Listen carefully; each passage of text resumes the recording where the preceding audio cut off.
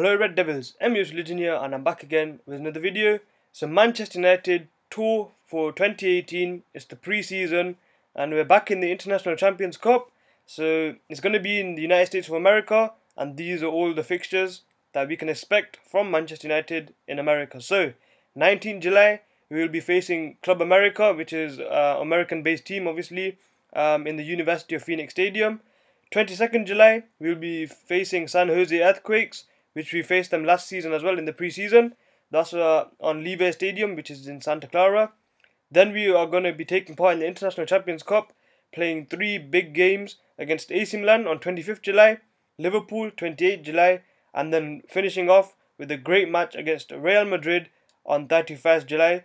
And obviously, it's going to be LA for AC Milan, Ann Arbor for Liverpool, and Miami for Real Madrid. So pre-season tour for Manchester United. These are the fixtures: Club America, San Jose Earthquakes, AC Milan, Liverpool, and Real Madrid. That is a great pre-season to get the players, um, maybe the new players as well, gelled in the squad. We've got some great fixtures here, and hopefully, you know, pre-season can be the basis of which we start our season. Hopefully, we have a good pre-season. Hopefully, sign some key players, gel them in the squad, and it should be a fantastic, you know, pre-season for us um, uh, 2018. So anyways, it's been Amir Religion. Please like, subscribe, and I'll see you guys later.